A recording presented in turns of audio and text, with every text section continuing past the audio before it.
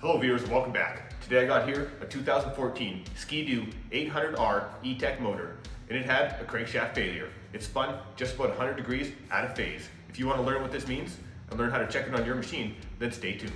The first thing you need to know about these crankshafts is they are two pieces, forged separately and pressed together in the middle. Out of phase means that joint in the middle has slipped and the motor is out of time. Now on this 800R motor, the flywheel key will be pointing straight up to the 12 o'clock position when the mag side is at top dead center and straight down to the 6 o'clock position when the PTO side is at top dead center. To make it easier for you to see, I've gone ahead and took a white paint pen and marked the 12 o'clock position, I've marked my flywheel key position, and I've marked the 6 o'clock position. You can check the timing of your motor while it's in the machine. To do this, you'll need to take off your injectors and then take a clean screwdriver and put it down the injector hole. Then rotate the motor over until the piston is at top dead center. Right there is about top dead center on the mag side. And as you can see, the flywheel key lines up with the 12 o'clock position. Now I'm gonna go over to the PTO side and try the same thing.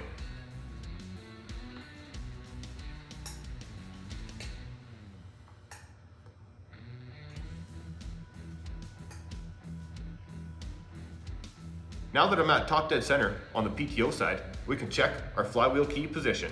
And as you can see, it's pointing at about nine o'clock. This motor is way out of time. Here's a better view of what's going on on the end of the crankshaft.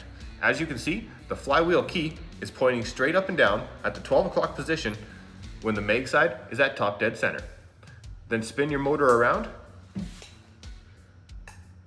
And if your motor is timed properly, the flywheel key will be pointing straight down to the six o'clock position. On this motor, it keeps going and the flywheel key lines up just past nine o'clock when the PTO is at top dead center. Now I'm gonna pop the cylinder head off and show you what's going on inside the motor.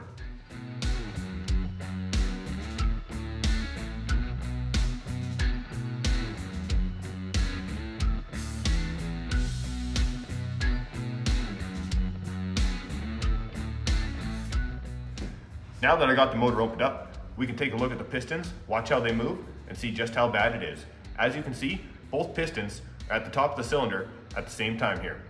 This is a clear sign there's something wrong. The pistons should be moving opposite each other. One should be going down while the other is going up. One should be at the top while the other is at the bottom.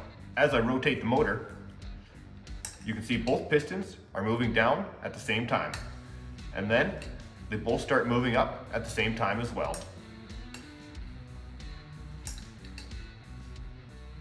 This is why my motor was only running on one cylinder. The mag side, that was still in time. The PTO side was way out of time, down at the bottom of the cylinder when it was trying to fire. If you haven't done so already, make sure you hit that subscribe button and click up here to check out the next video. This has been my Ski-Doo 800R E-Tech out of phase. Ride safe.